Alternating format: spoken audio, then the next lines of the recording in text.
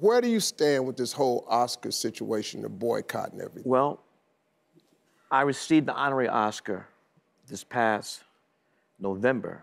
So traditionally, if you get in November, you come to the big thing in February.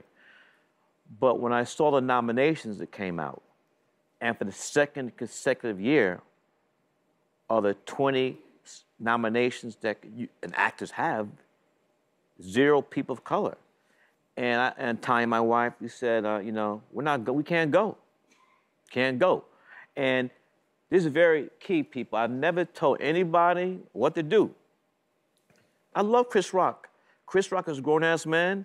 What he wants to do, I'm fine with. But for me, my wife and I, we can't go. Can't do it.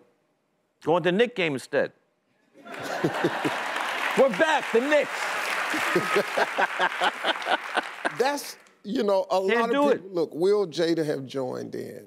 There's Don Cheadle's, he's not going. So, but but here's the interesting thing, because I wrote an essay giving my explanation. I wanted people to know why, what are the reasons I'm doing it. One of the thing, and one of the things I said was very important. I said, I'm tired of the media calling my office asking me my reaction to Oscar nominations. I said, you know what? For one time, they need to start calling up these white nominees.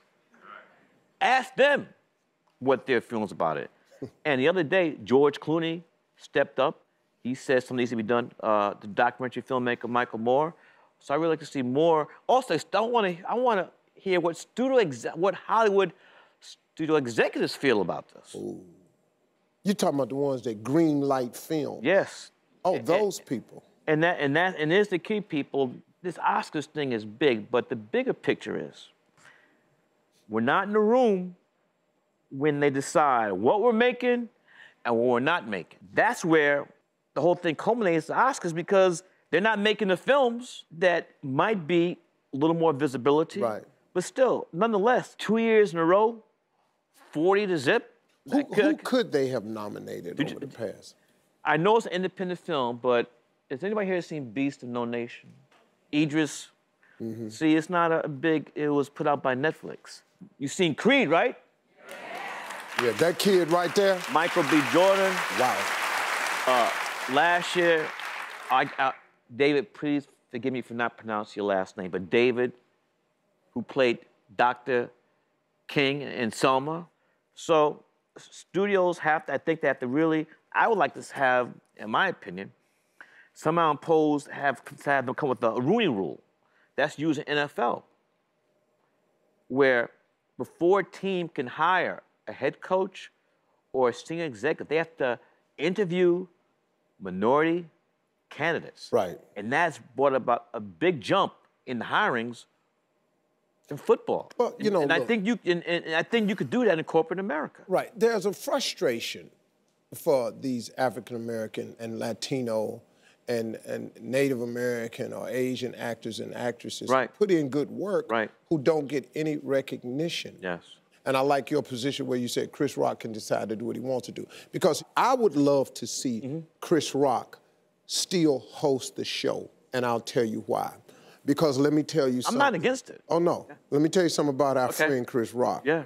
If you think on that night that he is not going to make some statements so loud and it's live, you're not gonna cut him out.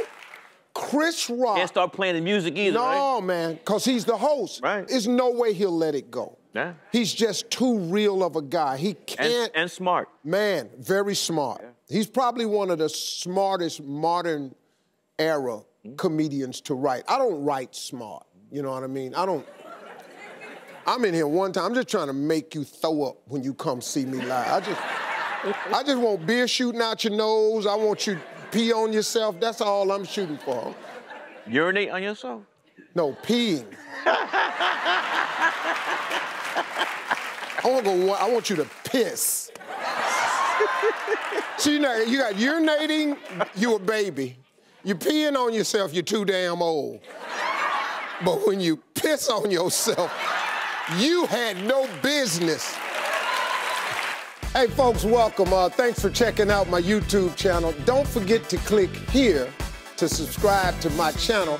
That way, you won't miss a single hot new video, some really good stuff. And then I want you to click here to see more clips from the show right now.